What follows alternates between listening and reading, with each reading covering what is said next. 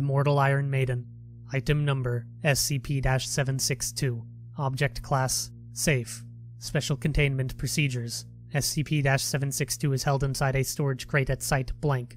As SCP 762 does not appear to be dangerous to anyone not placed inside of it, no further precautions are required. Anyone wishing to experiment with SCP 762 must get authorization from Dr. Wrights. Description SCP 762 1 is a torture device similar to the infamous Iron Maiden of Nuremberg. It was recovered in 19 blank from a box in the basement of Data Expunged in blank Austria. When opened, SCP 762 was found to have a male human in it, now known as SCP 762 2.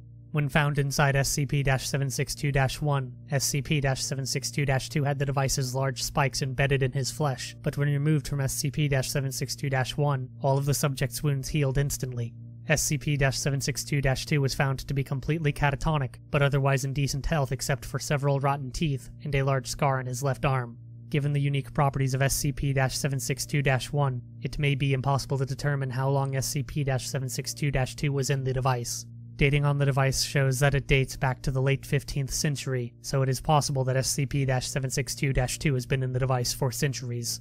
Any person placed inside SCP-762-1 appears to enter a state of suspended animation. Subjects no longer need food, water, or even air when inside SCP-762-1. Subjects also appear to be immune to the effects of disease or injury when inside SCP-762-1, including the large wounds inflicted by SCP-762-1 itself. Subjects do, however, remain conscious, and the experience is described as being very painful. Once subject is removed from SCP-762-1, all wounds inflicted by the device are instantly healed. Since all physiological processes except for cognition are suspended while in SCP-762-1, it seems likely that a person placed in it will not age.